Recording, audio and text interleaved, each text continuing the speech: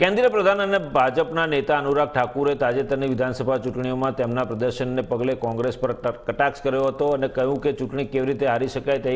જૂની પાર્ટીઓ પાસેથી શીખવું જોઈએ. ચૂંટણી કેવી રીતે હારવી તે કોંગ્રેસ પાસેથી શીખવું જોઈએ. કોઈપણ રાજ્યમાં ભાજપ વિરુદ્ધ પક્ષની લહેર નહોતી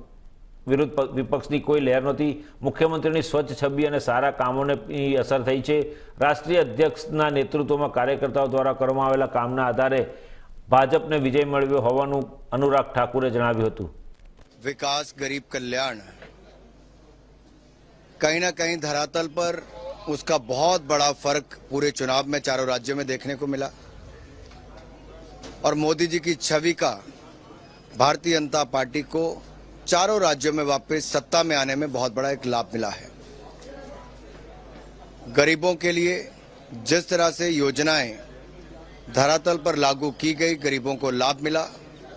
और विकास को नई ऊंचाइयों पर विकास को नई रफ्तार देने का काम किया। और ईमानदार नेतृत्व, जहाँ एंटी इनकम्बेंसी हमारी किसी राज्य में दिखती नहीं थी, मुख्यमंत्री की साफ़ छवि अच्छा काम, कहीं ना कहीं वो भी काम आया है।